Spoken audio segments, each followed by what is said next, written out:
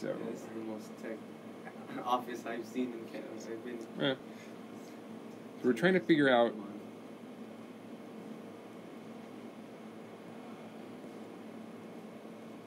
come on in. Or hang out in the hallway. Either one. Come Oh, in, come pardon out. me, It's okay. sorry. No I- worries. I'd rather be in here. No worries. Get something out of it. Yeah.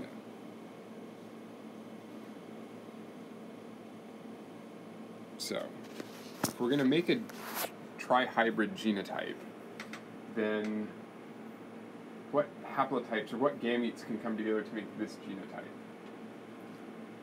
So we know from each parent, these are two different parents down the middle. Mm-hmm.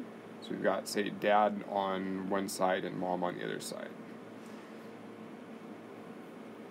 So what letters do their gametes, haplotypes, have to contain to produce that set of genotypes?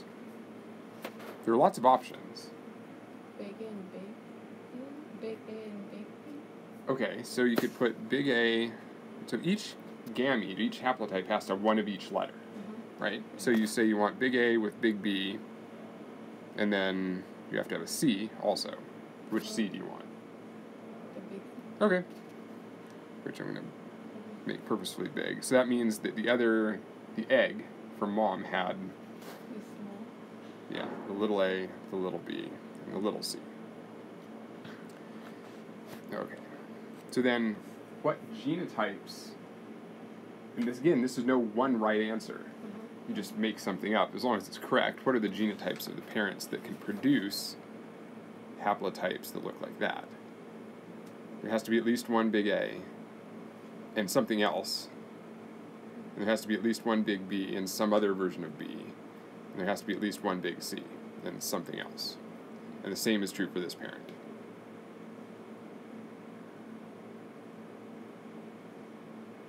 Little c. So you can fill in what's empty up there in the genotypes with any sort of A, B, C, whatever. Mm-hmm. That's all right.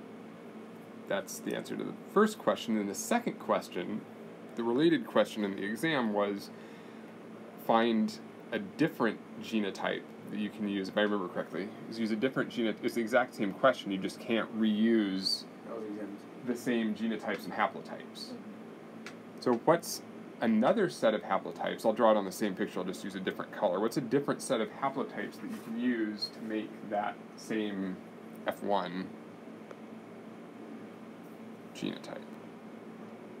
So instead of having all the capital letters on one side and all the lowercase on the other, what else could you do? Big A, little C. Big, or little Yeah, you could do big A, big B, little c from that parent. And that means that to get the same F1 genotype, what has to be the haplotype of the other gamete? Small B, big C. Small b, big C, and Small. Would switching the um, the uh, with the male and the female, would just switching them up, would that be a valid answer? No, No. not for this. So, yeah, in nature that works. But for this question, I'm asking us specifically to use different haplotypes than were used in the previous one. So you, they would be, if you just swapped them Yeah. this way, they would be using the same haplotypes. Okay. So I'm just, so the point I'm trying to make is that there are lots and lots and lots and lots and lots of different crosses you can set up at the top that wind up giving you the same F1 genotype. I think that's all. Man, looking back.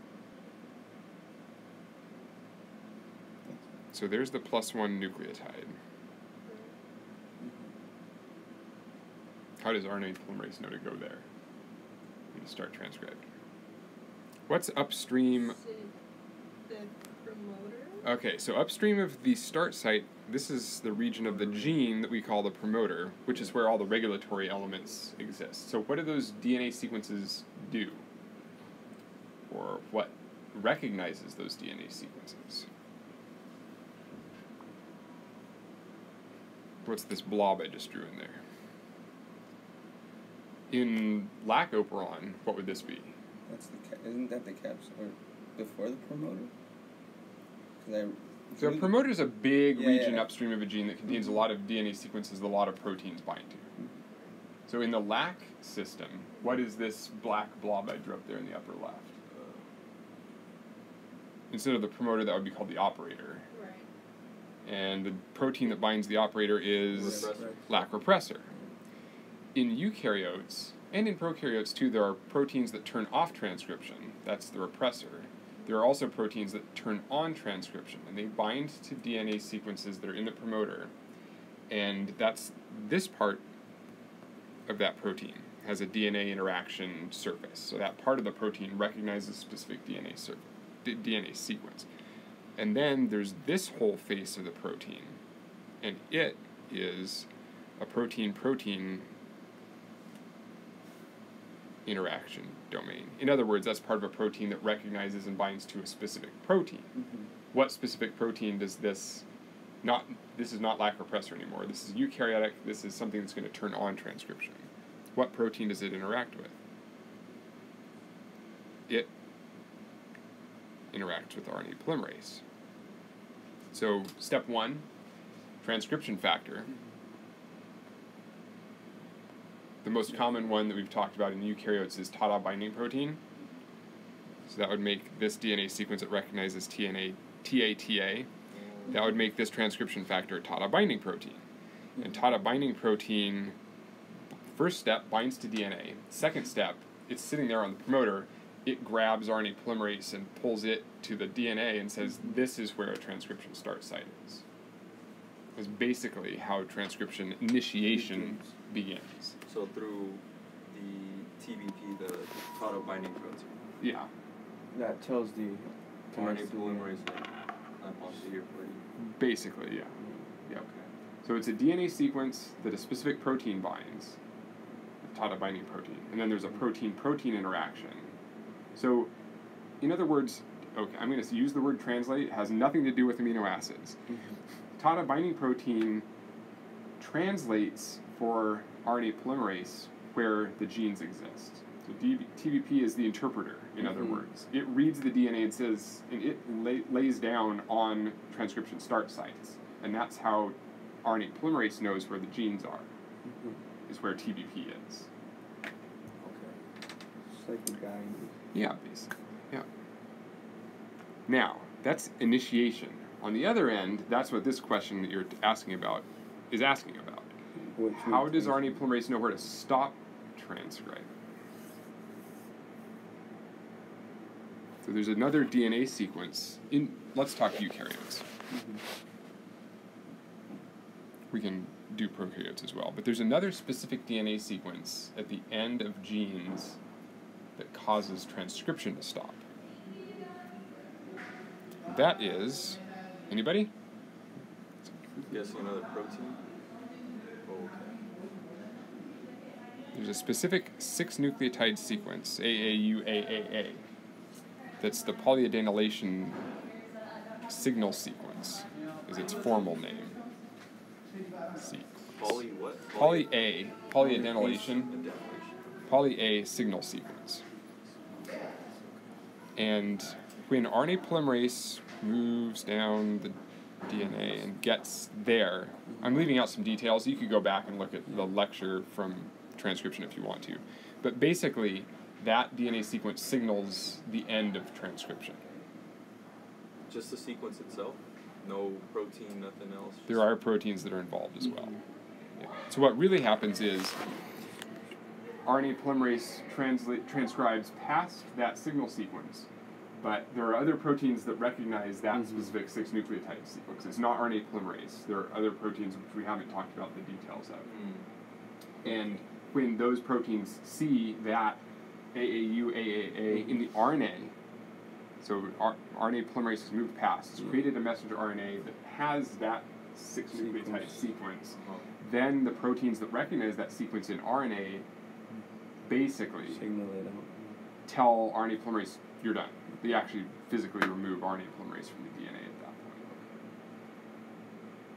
More importantly, there's a separate enzyme that cuts the end of the RNA molecule about. Okay, so let's see. there's a start codon and a stop codon. This messenger RNA is going to have to be a little bit longer for me. This is for translation? This is well, this is the messenger. RNA. So that we're still talking about what's the messenger RNA molecule that gets produced. It will contain somewhere in that gene there will be a start codon Mhm. that's encoded by the DNA, and there will be a stop codon. Those will be to the left of five prime of the poly A signal sequence. So it's also going to be so actually if that's a DNA sequence. I've screwed this up. That really should be a T. because that's DNA. So the DNA sequence will have AAT, AAA, but the mRNA will have AAU, AAA, and then about 15 to 20 nucleotides of additional gene sequence before it stops. And that's where there's a separate enzyme, which it's not important to know the details of, cuts the RNA molecule about 15 to 20 nucleotides past that AAU, AAA. And then a separate enzyme, poly A polymerase, adds a bunch of A's to the very end of the messenger RNA. That was the third step in RNA processing in eukaryotes. 7 methylguanine cap on the left end, Mhm. splicing, and adding of this poly A, mini A tail. So that AAU AAA is where transcription termination is all that's what it's all about. The, that protein. It's that sequence of six nucleotides and then we leave it up to the proteins that recognize that sequence Mhm. to actually carry out the job of stopping RNA polymerase from doing Well, work. that's the starting point of its end. Yes. like Not there's gonna a process anything. after. That's correct. Yeah, but that's Yeah. that's where That's what initiates termination. that's the beginning of the end. beginning of the end. gotcha. I think that was the thing that was bothering me. Is couldn't solve. I Mhm. couldn't remember. Yeah, and it's it's absolutely common. Everybody almost has this issue of yeah, transcription, translation. Yeah, how the start and stop codons play a role in which process. Yeah, I, process, I, make, I mix them. yeah, and you're not alone. It takes doing this a lot before you really see the bigger picture, and that's what I'm here to try to do. But sometimes I'm not as effective at it as other times. Thank you. Yeah, you're welcome. Alright, I kind of came with a discussion Oh, question. Sorry. Okay. So And the question is what happens to the operator, which is a specific DNA sequence. I don't remember offhand what the sequence is. Let's just make one up. Let's say it's a four nucleotide sequence that lac repressor recognizes and binds to. And what's the circumstance in which repressor binds the operator? No lactose present. Oh, no factor. No lac. Yeah, no. What's the name of the small molecule? Effector. So ACT would be the operon. I think like like ZYA is operon. That's that's right. Oh, so there's that big difference between the two words that start with oper. Yeah. The operon is the set of genes that get transcribed. The operator is part of the promoter, which are the regulatory DNA sequences. That is, the DNA sequences that are used by proteins to turn off or turn on transcription. So the operator is part of the promoter. It's got a specific DNA sequence. And in the case where there's no lactose, you've got lac repressor bound to the operator, and that's blocking RNA polymerase from moving down the DNA to the right to get to the transcription start site so it can transcribe the genes. So that doesn't happen when the repressor is bound to the operator. And then if you have plus lactose, so lactose binds the repressor, that causes lac repressor to change shape. So maybe it looks something like that now, so it doesn't have a flat surface that recognizes ACTA. So it changes shape. Lactose is still bound to it. That falls off of the operator. So that DNA sequence ACTA is still there. It's just that the proteins that would recognize it and bind to it can't because lactose has physically changed their shape So they're physically unable to bind ACTA. So does the RNA polymerase just stop there, or does it skip over? So then RNA polymerase, there's nothing here mm-hmm.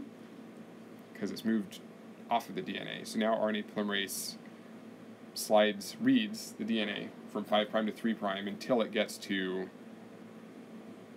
the transcription start site, black arrow here. And starts transcribing. Okay. So the operator is the whole um, thing with the the repressor and everything then? The operator is just the DNA sequence that the repressor binds. Okay.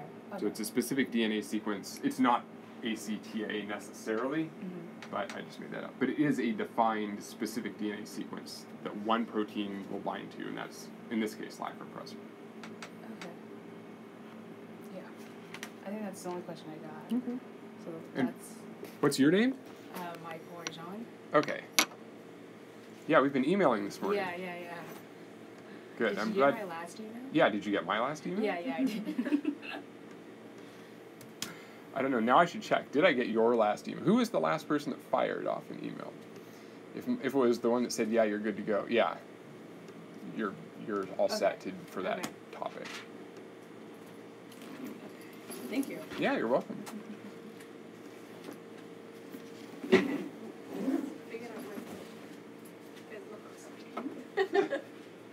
um, so what was the difference between cis and the trans um, what was it called? The cis and the trans Regulation. Yes. Yes. For the plasmid and all that. Okay.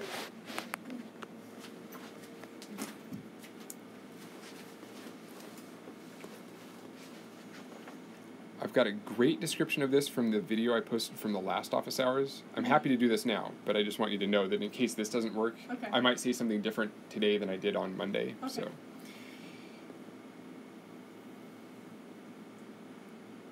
Now, as a dutiful student, you've already taken organic chemistry, right? Mhm. Or you are currently taking it.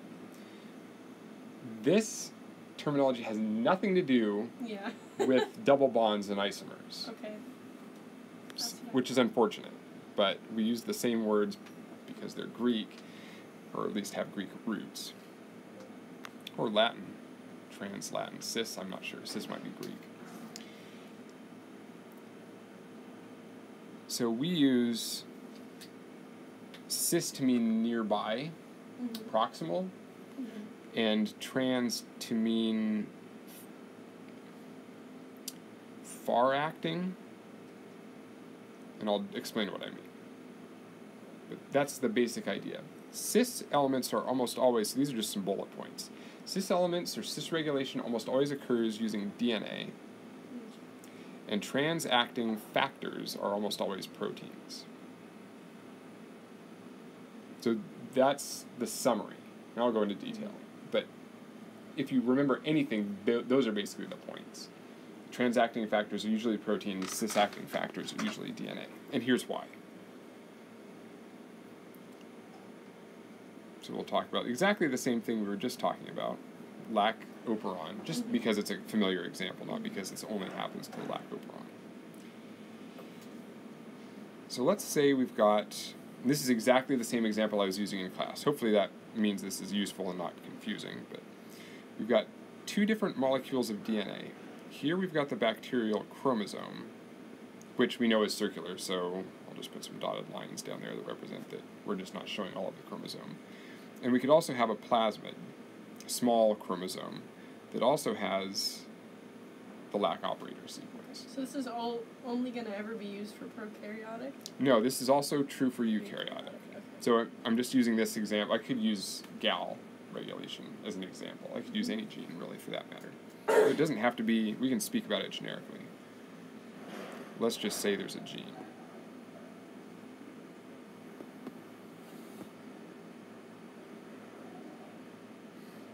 Gene X. and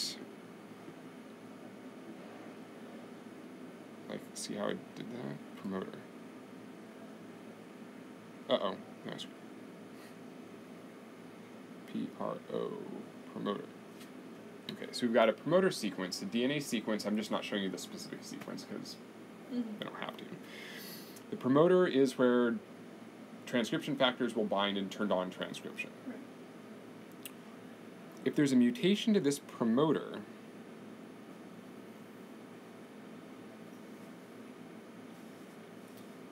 that changes the DNA sequence, so now it's promuter. I don't know. now transcription factor won't bind to that sequence. Right. So what's the effect of that mutation on transcription of gene X? So gene X wouldn't be transcribed. Right. No TXN, no transcription. Never. Or almost never. It's hard to say never in biology because there's always, almost always some exception. But basically, transcription factor can't bind a mutant promoter because the protein that's the transcription factor doesn't recognize this new DNA sequence. What happens if we put the wild type promoter sequence on a separate piece of DNA into this eukaryotic, let's say, cell? It wouldn't fix anything, right? That doesn't fix anything because what's the transcription factor now recognizes the wild type sequence. It can go bind that piece of DNA, but it still will never go bind promuter.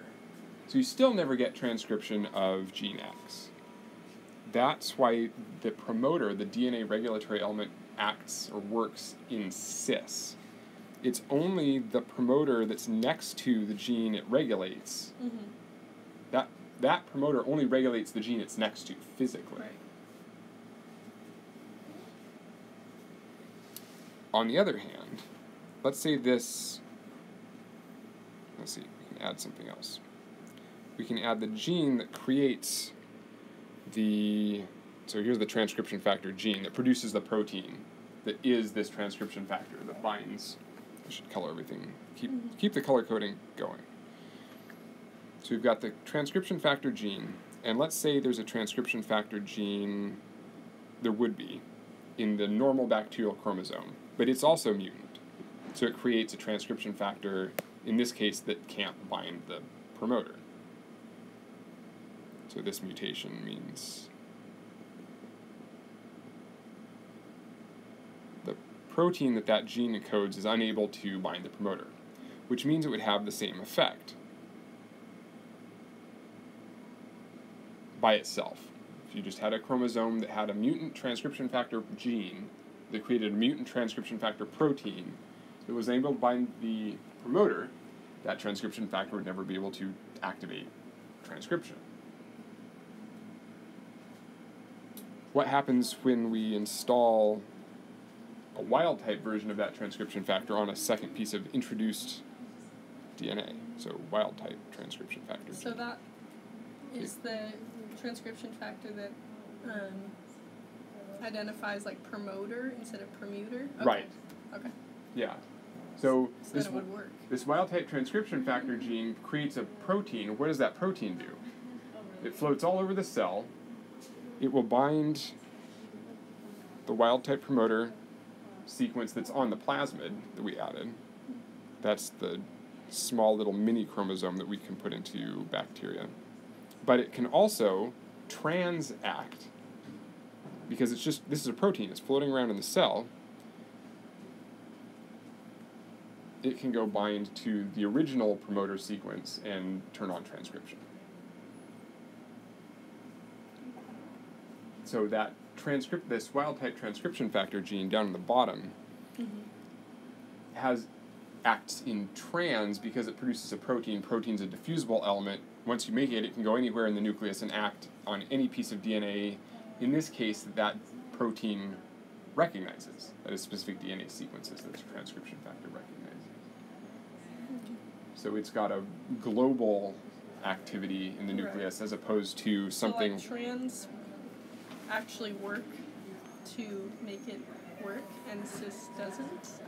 uh, not Not necessarily. Okay. It's just that cis factors are ones that have a local sphere of influence, Okay. in other words.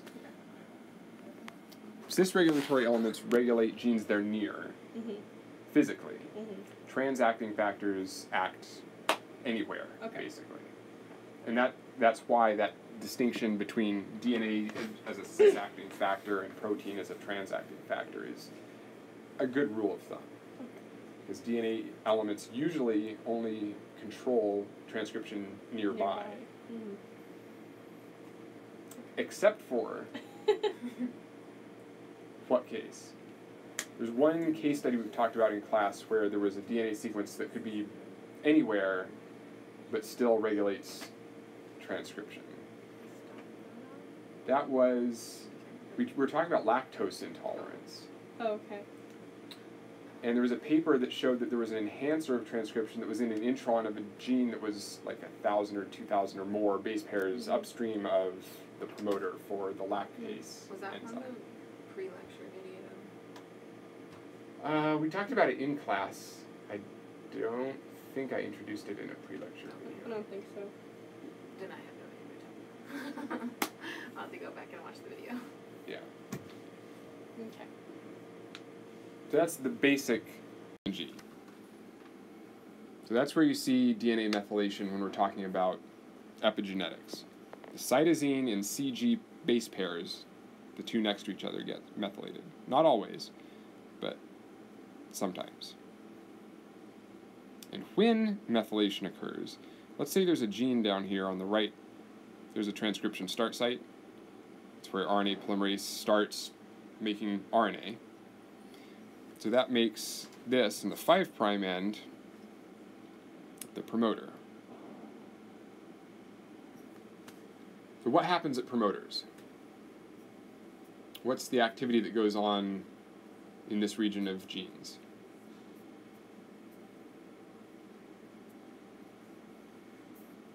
What proteins bind in the promoter regions?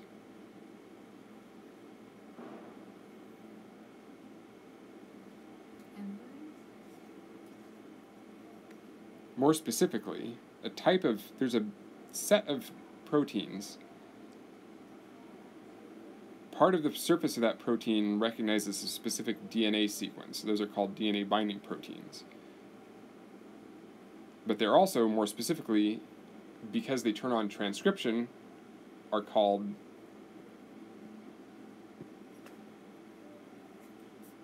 transcription what? Factors. So this is particularly true in eukaryotes, but it also works similarly in prokaryotes. The proteins, transcription factors that bind specific DNA sequences in the promoter, and what do they do? So one, they bind DNA sequences. That's not how you start transcription. How do these proteins actually help turn on transcription?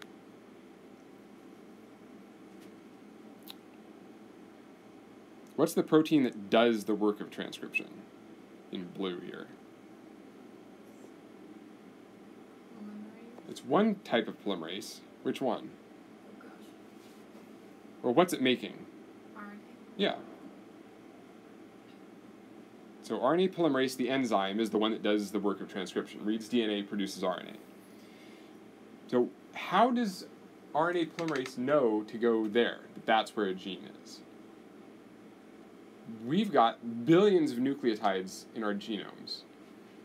RNA polymerase can't waste its time floating all over all of our chromosomes and trying to figure out where to start transcribing DNA. And it can't just start transcribing DNA randomly because most of our DNA doesn't encode proteins. So it has to be told, RNA polymerase, the enzyme, has to be told where to start transcription.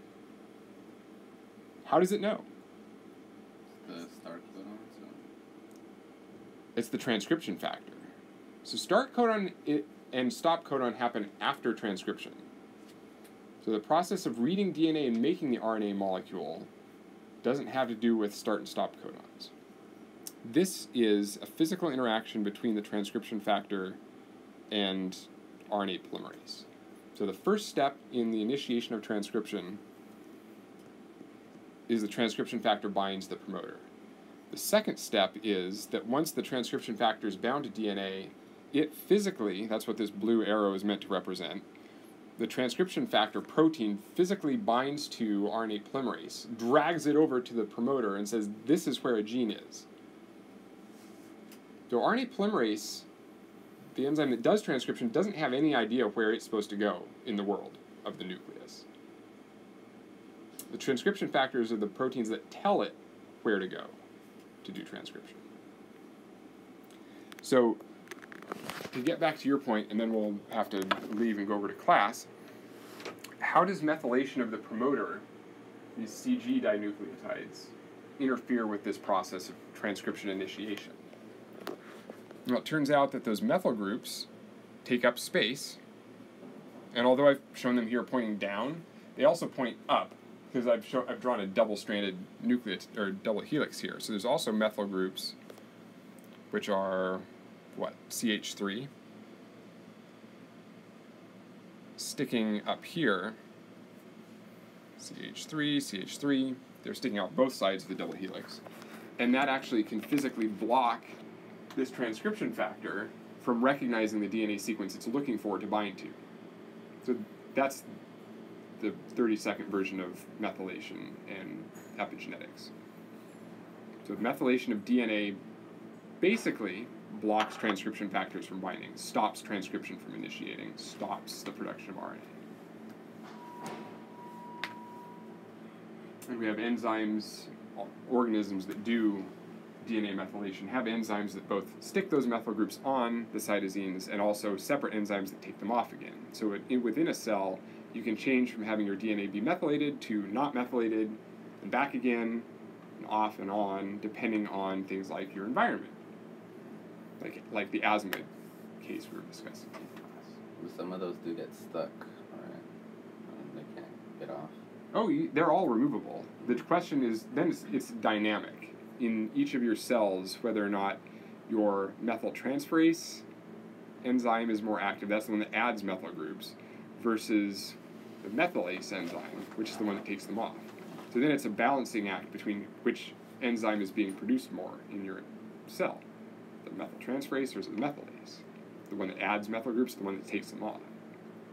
And there's a lot more detail beyond that, but that's not relevant to this class yet.